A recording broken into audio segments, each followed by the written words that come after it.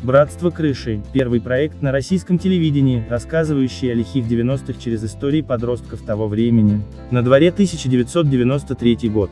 Россия на пороге больших перемен, но в провинциальном городе, где живет Санька Рябинкин, никаких волнений пока не ощущается, все идет своим чередом. Все меняется, когда Санька влюбляется в девочку со своего двора. Пытаясь проявить себя перед ней, он угоняет машину местного авторитета и разбивает ее.